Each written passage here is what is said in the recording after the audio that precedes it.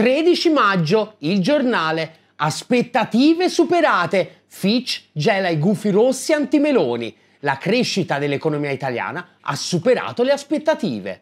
Oh, è importante però che non dici cazzate. Primo giugno, libero. La resa dei gufi. L'economia italiana corre più di tutti. Ci applaude perfino Moody's. 2 giugno, la verità. Lavoro e PIL vanno su. Il governo può sorridere. 7 giugno, di nuovo libero, questa volta ancora più garoso. Titolone a 5 colonne in primissima pagina. Gufi, arrendetevi, l'Italia è ripartita.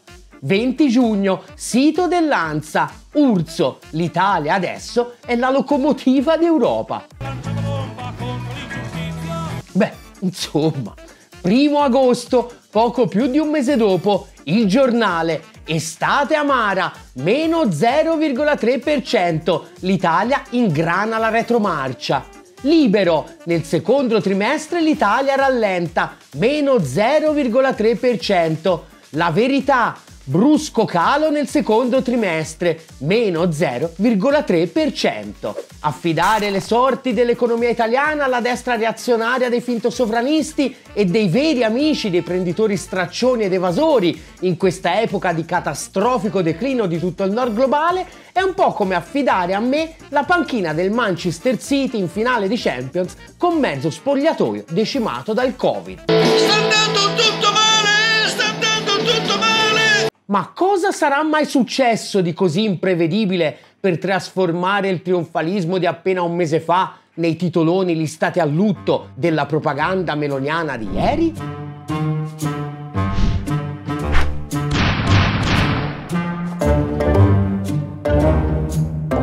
La propaganda suprematista filogovernativa è così prolifica e fantasiosa che selezionare le chicche più succulenti è sempre complicato ma quando qualcuno si distingue dalla media è nostro compito di divulgatori individuarlo e valorizzarlo. È il caso di questo articolo assolutamente geniale pubblicato il 2 giugno scorso dal quotidiano del Sud e a firma Antonio Troise, il mio nuovo eroe. Tutti i numeri del miracolo italiano che smentiscono Gufi e Cassandre, si intitolava.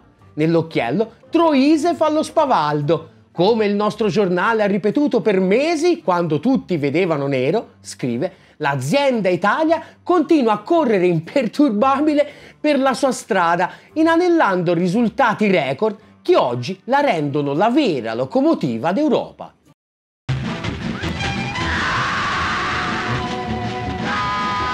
Questa capacità premonitrice, ci spiega Troise, è data dal fatto che si sarebbe tenuto lontano dalle previsioni catastrofiste dei professoroni dei think tank e invece si sarebbe sporcato le mani cercando di frequentare direttamente gli stabilimenti che, dichiara, dopo la pausa del Covid hanno subito cominciato a spingere al massimo gli impianti, conquistando nuove fette di mercato all'estero. Ora, se Troise l'ha scritto perché ci aveva da farsi rimborsare delle note spese giustificate con la visita agli stabilimenti, mentre in realtà era più che giustamente a spassarsela con qualche spasimante, ha tutta la nostra solidarietà, altrimenti è un po' gravino. A meno che per stabilimenti, giustamente, Troise non intendesse quelli balneari. Come vi abbiamo già raccontato n mila volte, infatti, quella piccola e insignificante tenuta del nostro PIL registrata nei mesi passati, era in buona parte legata ai servizi e soprattutto al turismo, e cioè un'economia che la ricchezza la distrugge più che crearla, tra concessioni clientelari, lavoro al nero, evasione fiscale e devastazione ambientale. D'altronde è l'unica politica industriale messa in campo dal governo del Twiga, tra regalini agli evasori, allargamento del precariato, indebolimento dei controlli, rifiuto del salario minimo e abolizione del reddito di cittadinanza, che per lo zoccolo duro dell'elettorato finto sovranista rappresenta un'insostenibile forma di concorrenza rispetto agli spiccioli che offrono per tenere alta la bandiera della gastronomia italica. Infatti, come avevamo anticipato ieri, una frenata oltre i titoli della propaganda era più che attesa Peccato sia stata decisamente peggiore delle attese. Contro la previsione di un misero più 0,1% nel secondo trimestre, infatti, ieri l'Istat ha certificato un bel meno 0,3%. La doccia, inutile girarci attorno, scriveva ieri il Sole 24 ore, è di quelle ghiacciate. Un cambio di rotta drastico, continua l'articolo, che fa cadere l'idea che la crescita del turismo possa compensare la flessione dell'industria. Ma te guarda, eh, uno scoop dietro l'altro proprio. Calo a sorpresa del PIL, titolava ieri il Corriere. E meno male che questi sono quelli studiati, che la sorpresa sia tale solo per chi vive nel mondo delle pete candite. Le pete candite. Lo dichiara chiaramente Barbara Colombo, la presidente dell'Associazione dei produttori di macchine utensili. Ce lo aspettavamo, ha dichiarato. Nel primo semestre dell'anno abbiamo registrato un calo degli ordini del 23%. Non esattamente bruscolini. La solidarietà del nord globale non ha retto la prova dello scontro di civiltà. Gli ordini dall'estero di macchine utensili italiane sono calati del 18%. Si vede che gli imprenditori di mezzo mondo hanno disdetto l'abbonamento al foglio e hanno cominciato a fare di testa loro. Un risultato davvero imprevedibile. Ma quello che fa ancora più impressione in realtà è il mercato interno, sempre rimanendo agli ordini di macchinari utensili, un drammatico meno 29%. Strano, eh? Com'è che gli imprenditori italici hanno smesso di avere fiducia nelle sorti progressive del governo degli svendi patrioti? La propaganda di governo non ha dubbi. I tassi della BCE azzoppano il PIL, titolava ieri il giornale. La Lagarde ci ha rotto il PIL, rilanciava sarcastico libero. Ovviamente non hanno tutti i torti. C'è una cosa però che non ho capito. I tassi la BCE li ha alzati tutti adesso di botto? Dove erano gli aumenti dei tassi quando un mese fa, di fronte alla prospettiva della crescita del PIL, di un portentoso 1%, gridavano entusiasti al miracolo economico italiano? Misteri della fede finto sovranista. Ma quella finto sovranista non è l'unica fede avvolta dal mistero. Anche quella globalista turboliberista del foglio è pura cabala. Perché non c'è da preoccuparsi per il calo del PIL italiano, titolavano ieri.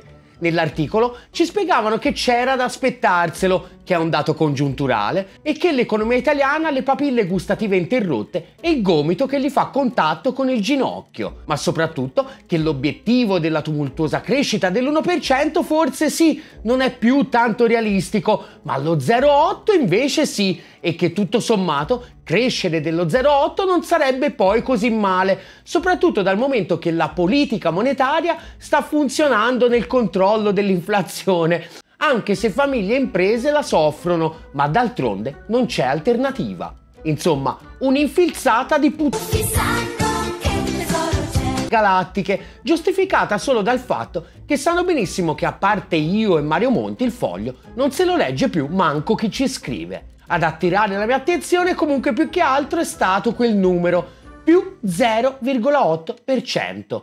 È lo stesso numero che vi avevamo raccontato prima di andare qualche giorno a infilare i testini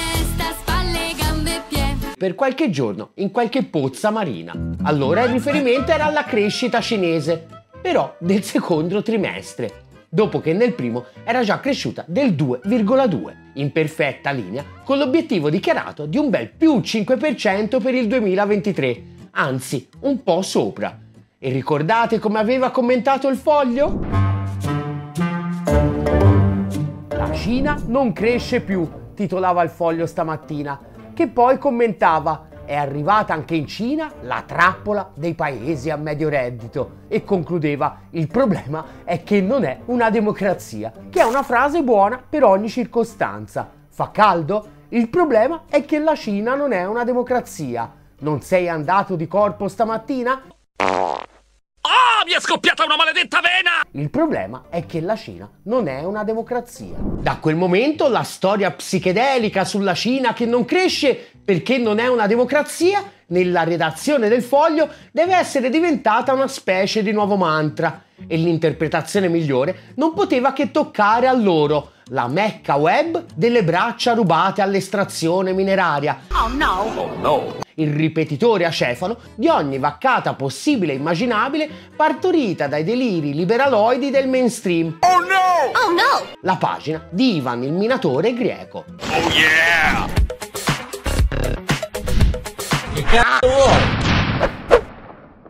Ospite d'onore, la punta di diamante della propaganda sinofoba del foglio, Giulia Pompili, che un po', lo devo ammettere, in questa live ci ha spezzato il cuore. Nel nostro romanticismo devo dire, infatti, siamo sempre alla ricerca del nemico da rispettare e al netto degli sfondoni periodici tirati senza pudore per fare da ripetitore alle vaccate anticinese dell'intelligence USA e della sua fitta rete di finte ONG d'accatto, come nel caso della pagliacciata dell'allarme sulle centrali di polizia cinese in Italia scoppiata da orologeria nell'autunno scorso, un pochino la Pompili avevamo sperato rientrasse un po' in questo profilo, una spregiudicata nemica ideologica, ma alla fine una che sa il fatto suo. Scoprire che è la brutta copia di Maurizio Gasparri ci ha profondamente rattristito. Nella live in questione, infatti, dopo le solite manfrine un po' sconclusionate sull'aggressività militare cinese, a un certo punto viene introdotto un tema decisamente delicato, complesso e anche estremamente interessante, il calo della crescita della produttività cinese. Si tratta concretamente di uno degli aspetti più dibattuti tra le elite accademiche e politiche del dragone, un dibattito che dovrebbe interessarci profondamente perché aiuta a chiarire vizi e virtù dal punto di vista dell'efficacia economica del socialismo con caratteristiche cinesi. È una tragedia, una tragedia preoccupante per la leadership del partito, esordisce convintissima la Pompili Peccato che nei minuti successivi poi riveli di non avere la minima idea di cosa si stia parlando. La Pompili prima sorprende tutti riconoscendo alla Cina la capacità di aver innalzato il tenore di vita della sua sconfinata popolazione, pure troppo. Secondo la Pompili infatti il partito non è solo riuscito a far uscire i cinesi dalla povertà, ma addirittura a renderli proprio ricchi, 1,5 miliardi di ricchi che, come dice la Pompili, sono passati da avere una bici ad avere non una, ma addirittura due auto. Ma che dico due? Ma facciamo tre! Un pullman! No lo sé, Rick, parece falso. Fino a che però arriva la domanda di rito, il meme più amato dai liberali confusi. At what cost? A quale prezzo? Un tormentone intramontabile come testimonia questo post pubblicato di nuovo qualche giorno fa sulla pagina di OK by Zuo. La politica industriale cinese per l'eolico ha avuto successo, ma a quale prezzo? La Cina ha evitato il drammatico pedaggio tributato al Covid dagli Stati Uniti, ma a quale prezzo? L'economia cinese si sta stabilizzando, ma a quale prezzo? E così via, all'infinito da decenni. In questa personale variazione sul tema, la Pompili, va ammesso, compie una piccola opera d'arte, anche se un po' situazionista. Secondo la Pompili, infatti, l'eccesso di volontà, di corsa economica, in un sistema di capitalismo controllato e centralizzato, quindi il famoso miracolo del capitalismo che si unisce al socialismo, in realtà ha fallito. In base a cosa lo dice? Qui la cosa in effetti si complica un pochino. Da un lato, dice la Pompili, ci sono gli squilibri macroeconomici, che secondo la nostra Giulia consistono nel fatto che tu spendi più di quanto la gente effettivamente poi consuma o che tu possa riassorbire. Non ho ferretto, scusa. Che non chiedetemi cosa significa, perché evidentemente a quella lezione di macroeconomia ero assente. L'unione di capitalismo e socialismo spende di più di quanto la gente effettivamente consumi. Boh, no, davvero. Cioè, non, non, non ho idea di che misteri appunto della fede liberista. Ma non è tutto. Oltre all'aspetto macroeconomico, ci istruisce la Pompili, c'è anche l'aspetto psicologico, cioè della collettività sociale. Cioè, della collettività sociale. Cioè, mi pare un po' una citazione di un film di Verdone. Il riferimento della Pompili è, non ho capito perché, alla legge sul figlio unico, che non c'è più ormai da parecchi annetti e non è proprio chiarissimo cosa c'entri con la produttività. Ma ciò nonostante, non ho capito bene attraverso quali voli pindarici, porta la Pompili direttamente al nuovo mantra del foglio. Può sembrare semplicistico ora dare la colpa alla mancanza di democrazia cinese, ammette la Pompili, ma è la cosa più immediata. Il punto, sostiene la Pompili, è che se uno ha un sistema di programmazione economica che fa schifo e tu ti impoverisci, la prima cosa che fai è che non lo voti alle prossime elezioni. Che è quello che succede appunto nelle democrazie liberali occidentali, è davanti agli occhi di tutti. Berlusconi fa schifo? Ecco che lo rivoto. Rifà schifo? Ecco allora che voto Renzi e svolto. Poi Renzi mi delude? Ecco allora che voto la Meloni. E ciò l'Italia appunto locomotiva economica dell'Europa. In Cina invece no. In Cina, nonostante faccia schifo, gli tocca tenersi Xi Jinping a vita. Vorrebbero Giorgetti e la Fornero, ma invece gli tocca Xi Jinping. E quindi, sentenzia Giulia l'economista, è proprio il sistema cinese che non funziona più. Ergo, continua la Pompili, l'idea che la Cina fosse questo grande caso di successo di un paese che redistribuisce la ricchezza e cresce, oggi possiamo dire che era una cazzata. E sapete perché? Perché, ci spiega ancora Giulia, a un certo punto devi essere globalizzato. E vabbè. Okay. Ma non solo, perché a fare la ricchezza, queste perle di saggezza una dietro l'altra, sono le persone e se tu le hai massacrate a livello psicologico e queste persone non hanno più voglia di consumare e di essere felici, in effetti è un gran casino. E poi c'è chi prende in giro il compagno Antonio Razzi. Ora, a parte il ragionamento totalmente sconclusionato e cacofonico, una piccola nota di colore. Questo è l'ultimo Global Happiness Report redatto da Ipsos, il sondaggio periodico che viene fatto sul livello di felicità in 32 paesi diversi. Alla semplice domanda sei felice? In Italia hanno risposto molto abbastanza il 68% delle persone, appena due punti in meno che in Gran Bretagna e uno in più che in Germania in Cina sono il 91%. È il record assoluto e sono 12 punti in più rispetto a 10 anni fa, quando il sondaggio è stato fatto per la prima volta. Di fronte alla domanda se erano soddisfatti della situazione del loro paese dal punto di vista sia economico che politico e sociale, hanno risposto affermativamente rispettivamente il 78 e l'83% dei cinesi.